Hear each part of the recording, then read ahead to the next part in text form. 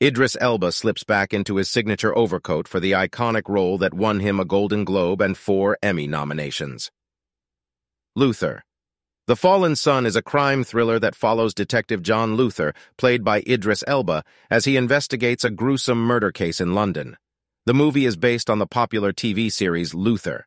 In this story, a masked serial killer is on the loose, targeting high-profile victims and leaving behind a trail of bloody clues.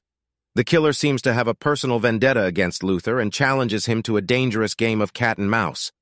Luther teams up with his former partner, DSU Schenk, played by Dermot Crowley, to catch the killer before he strikes again. As they dig deeper into the case, they uncover a web of secrets and corruption that leads them to the heart of the criminal underworld. Meanwhile, Luther's personal life is falling apart.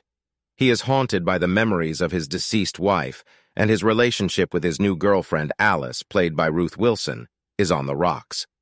Alice is also caught up in the investigation, as she may have a connection to the killer. As Luther and Schenk close in on the killer, they realize that they are dealing with a master manipulator who has been playing them all along. The final showdown between Luther and the killer is intense and thrilling as they face off in a deadly game of wits and violence. In the end, Luther manages to solve the case and catch the killer, but at a great personal cost. He must confront his own demons and come to terms with the consequences of his actions.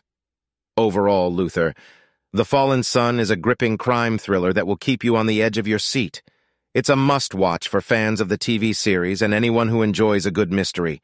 The performances are top-notch, and the plot is full of twists and turns. Don't miss it. If you like this video, please give us a comment below and subscribe to our channel before dinner. Thank you.